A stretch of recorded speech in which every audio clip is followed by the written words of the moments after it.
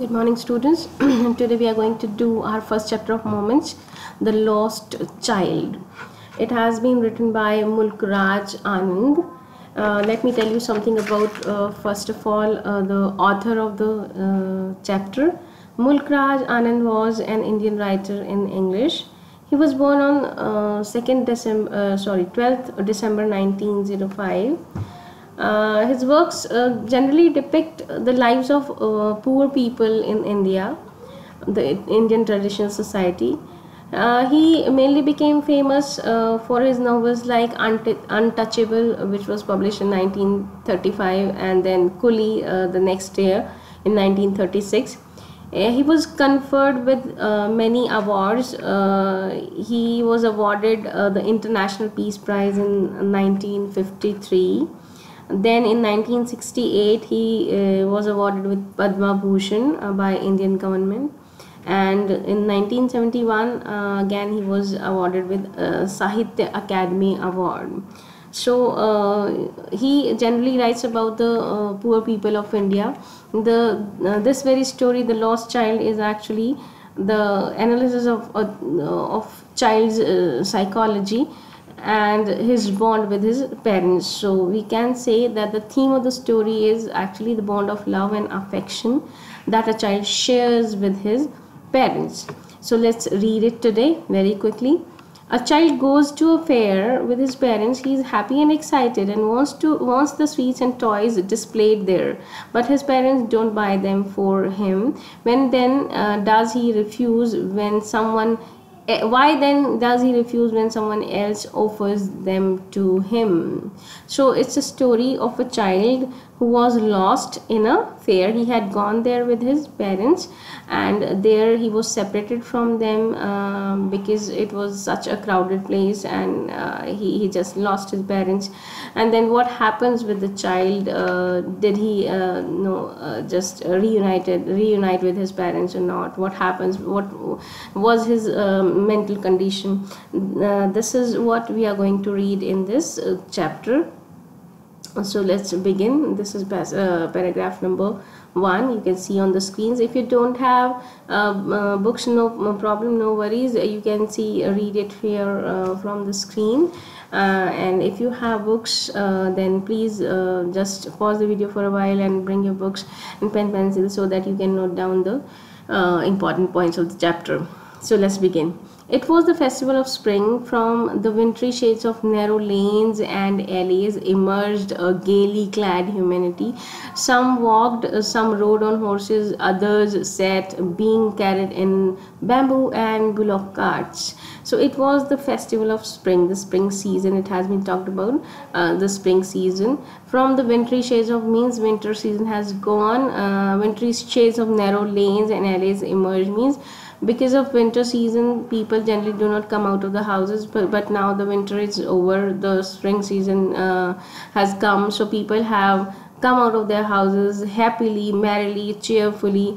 Alleys means the passages or the lanes or the streets means uh, they have come out of their streets and they all are happy cheerful uh, and they all are uh, you know uh, wearing uh, colorful clothes some walked some rode on horses some walked means some people are uh, walking on on foot and some some rode on horse, horses.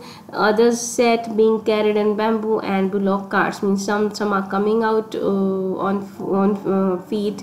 Some are on horses some some are in the bamboo and bullock carts one little uh, boy ran between his father's legs, brimming over with life and laughter. Brimming, brimming over means overflowing with life and laughter. A little boy uh, just was, uh, you know, running between his father's legs, and he was uh, full of happiness, life, and laughter. He was very, very happy that uh, he was going to attend the fair means everyone in the village actually they, they want to um, go to fair. That's why they uh, some many of the people have come out of their houses they all were heading towards the fair. Uh, next page. Come child come called his parents as he lagged behind fascinated by the toys in the shops that lined the way. Come child come called his parents the the child was fascinated charmed by attracted by the toys in the shops that lined the way. Means those were put in a line uh, in front uh, in front of the uh, you know shops to attract the uh, uh, customers. So the child was quite charmed uh, fascinated by those all toys and he just kept standing for a while there. And then his parents had to call him come child come come fast. Don't lay behind. Don't lag behind. He hurried towards his parents. His feet obedient to their call he hurried hurried towards his parents means he quickly just uh, moved forward to move to his parents his feet obedient to their call means as soon as he uh, you know uh, just uh, he hears uh, the call from his parents he he obediently follow them and he uh, no more will remain standing there near the to toy shops. Uh, his eyes still lingering on the receding toys although he kept on looking at the toys which were no going back and back far and far away from him because he was moving forward and forward. As he came to where they had stopped to wait for him he could not suppress the desire uh, of his heart even though he well knew the old cold stare of refusal in their eyes. Means means as he came to where they had stopped to wait for him he could not suppress the desire. Means when the child reached to his parents where they were waiting for him to uh, come and join them he could not suppress the desire. He could not you know uh, uh, press the desire of his heart uh, even though he well knew the old. Means he just uh, just uh, you can say uh, just uh, expressed his desire to buy the toy. Even though he well knew the old cold stare of refusal refusal means means they would definitely say no to buy the toys. Even though he knew that but still he expressed his desire to buy that. I want that toy he pleaded. He pleaded means he made an uh, appealing you know emotional appeal. He, uh, said it uh, like in a begging style. I want that toy means i want that toy. I want to buy that toy. His father looked at him red eyed red eyed here stands for the anger. Red red eyed in anger. His father looked at him in anger in his familiar tyrant's way tyrant in cruel way. His mother, melted by the free spirit of the day, was tender and giving him her finger to hold, said, Look, child, what is before you? But the mother was quite, uh, you know, you can say, uh, soft. And she was melted by the free spirit of the day means see the uh, you can say this phrase melted by the free spirit of the day. Because this the day was tender and uh, you know quite it was uh, a soft day. Soft day means uh, to say the uh, weather was very very uh, you know you can say the weather was pleasant. So uh, melted by the uh, free spirit of the day means she ha had got emotional because of the of the good weather. And she just didn't want to uh, get angry on her child. So she just gave him her finger to hold and said and to and persuade the child uh, not to look at the toy. And look child what is before you? And he she showed him some other things just to make him uh, you know uh, attracted towards something else and forget about the toy. It was uh, overflowing mustard field pale like melting gold as it swept across miles and miles on of even land. Means it was she wanted to show the child the mustard field which was which was uh, full of yellow flowers like melting gold. And it swept across miles and miles of even land. Means it was uh, spread uh, up to far far away land as much as one can see at a time. Next is a group of dragonflies were bustling about on their gaudy purple wings intercepting the flights of a lone black bee or butterfly in search of sweetness from the flowers. A group of dragonflies uh, were bustling about bustling about on the gaudy purple. Gaudy means bright and showy very colorful purple wings. Intercepting the flight means they were intercepting the flight of a um, lone lone means lonely alone one black uh, bee or butterfly in search of sweetness from the flowers. Means the dragonflies were intercepting the flight of bee or butterflies. They were actually hindering the ways of the uh, black bee or butterflies uh, towards the flowers from where the bee or butterfly wanted to have some nectar. Uh, the child followed them in the air with his gaze. The child followed them. Them who, who are them here? Them here stand for the dragonflies. Them here stands for the dragonflies. So the child followed them in their in the air with his gaze. Gaze means look till one of them would still its wings and rest and uh, he would try to catch it.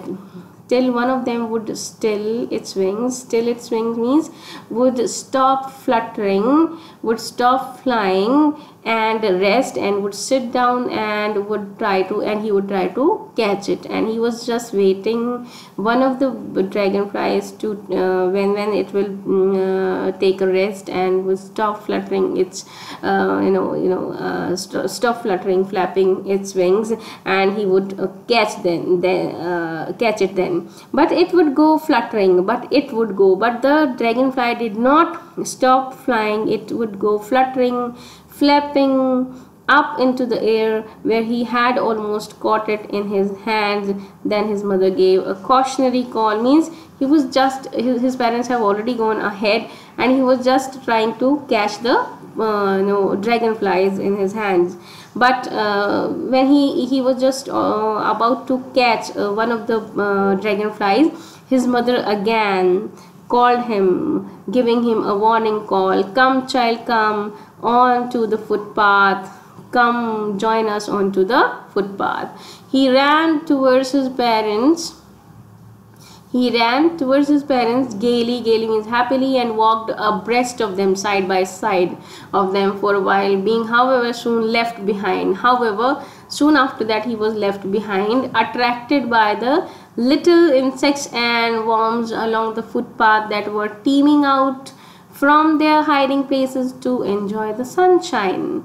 Although for a while he just uh, kept on walking abreast means side by side of her of his parents but soon uh, left behind. But again the child because the child is a child and he, he gets attracted uh, to very you know, normal things to very little things uh, around him. So he was again attracted by the little insects and worms along the footpath on which they were walking. On the footpath there were he could see many insects and worms uh, which were uh, teeming out. Teeming out means they had come out of their holes from their hiding places and they had grouped there they had made a group on the uh, on the footpath. So he just was attracted towards those uh, little insects and worms and he uh, and the worms and the insects were enjoying the sunshine. So he just stood there for a while and uh, no wanted to just enjoy their activities the activities of insects on the footpath uh, so the, he was left behind and his parents moved forward.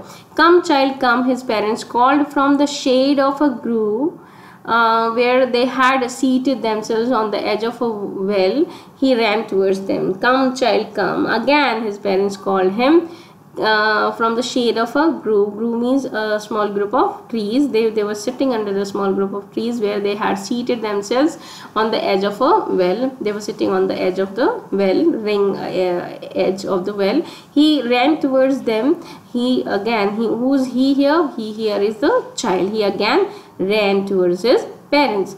A shower of young flowers fell upon the child as he entered the grove. As he entered the, that small group of forest, under the, he went under that. A small, uh, no, so sorry, a shower of young flowers fell upon the child. A shower of means the young flowers of the trees fell upon the child. They fell down the on the uh, upon the child and forgetting his parents he began to gather the raining petals in his hands. So again he forgot that his parents had called him. He just started to gather the raining petals in his hand raining the petals were raining from the from the trees uh, under which he had just entered but lo, he heard the cooing of doves and ran towards his parents, shouting, The dove, the dove. The raining petals dropped from his forgotten hands. And again, he heard something uh, more was there to attract the little child. He heard the cooing of doves. The doves had started cooing, and he ran towards his parents, shouting, The dove, the dove. Means he was so excited that he shouted out, The dove, the dove. Means he wanted his parents to see to watch out the dove for a while. The raining petals dropped from his forgotten hands. Now he had already forgotten the raining petals which he had just gathered from the uh, from the grove.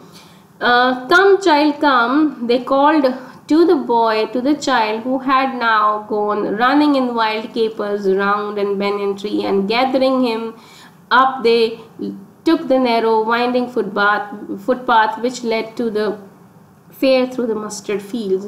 Come, child, come. Again, the parents asked him to come faster so that he could join them and could walk abreast of them means side by side uh, to them. They called the child who had now gone running in wild capers who had now gone means where the child had gone they, he had gone uh, in wild capers means jumping and dancing. He had entered into the small you can say wood small forest uh, around, around the banyan tree and gathering him up. They took the narrow winding path uh, which led to the fair through the mustard field. Now they uh, gathered him up. Uh, the parents took the boy and took the narrow winding, winding means bending, twisting footpath which led to the fair through the mustard fields. Now finally they have just uh, they, they are just about to enter the the uh, fair up to here. They were just walking in the lanes walk, walking towards the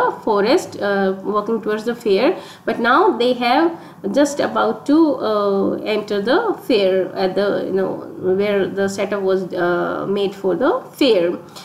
As they neared come on to the next page. As they neared the village the child could see many other footpaths full of throngs converging to the whirlpool of the fair and left at once uh, repelled uh, and fascinated by the confusion of the world he was entering. As they neared the village, the child could see many other footpaths full of throngs. Many other footpaths full of throngs means all the footpaths coming from different directions of the village, they were all crowded. They were all crowded. Got it everyone?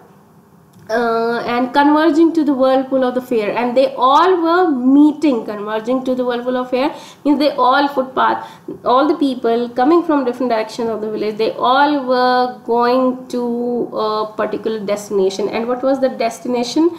The destination was the fair means they all had to gather to the uh, the place where the fair uh, set uh, fair was set up fair was uh, you know uh, set up yes. And felt at once repelled repelled and fascinated by the confusion of the world he was entering. Repelled means he he just was draw back for a for a while. He just uh, no was taken aback. He was surprised and fascinated by the confusion of the world he was entering. Means the child might not have seen such a big crowd earlier in her in his life. So he was uh, for a while he was uh, drove back he was taken aback he was fascinated he was charmed by the confusion of the world he was entering. Means it was quite a new world for the child. At sweet meats uh, a sweet uh, meat seller hogged gulab jamun, rasgulla, barfi, jalebi at the corner of the entrance and a crowd pressed round his counter at the foot of an architecture of many colored sweets decorated with leaves of silver and gold. The child stared open-eyed and his mouth watered for the burfi that burfi that he, that was his favorite sweet i want that burfi he slowly murmured murmured means he just uh, very slowly in a very slow tone he whispered to his parents that he wanted that burfi but he half knew as he begged that this plea would not be heeded means not he did not be heeded means not be paid any attention means his parents would not pay any attention to his plea to his request.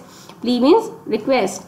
Uh, because his parents would say he was greedy so without waiting for an answer he moved on. So as soon as he entered in the fair the first thing that he came across was a sweet meat shop where he could uh, see the gulab jamuns, rasgullas, barfi and jalebi at the corner of the entrance and, and, and a crowd pressed round his uh, counter at the foot of an architecture of many colors, sweets decorated with, means and he could see a large crowd you know, thronged around the shop who wanted to buy the the uh, sweets from there at the foot of an architecture of many colors. At the foot of architecture means they had um, you know set up the uh, switch in such a way that it seemed as if they have particularly you know uh, architectured uh, a pattern of uh, putting or decorating or displaying the the switch in the shop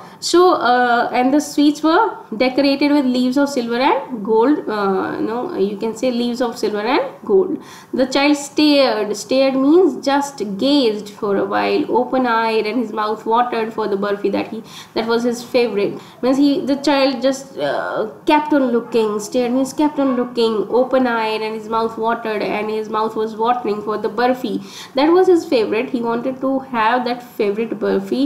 He he saw there on the shop. Uh, but he and he slowly whispered i want that burfi but he knew but he half knew he, he knew that that his request would not be paid any attention thus his parents would not buy any burfi for him because his parents would say he was greedy. And what reason would his parents give for that his parents would say that he was greedy. He should not be greedy looking at the uh, you know uh, sweets. Uh, whenever he uh, looks at the sweets he be he becomes greedy. He wants to have all them. But it should not be uh, so. He should not be greedy. So without waiting for an answer he moved on.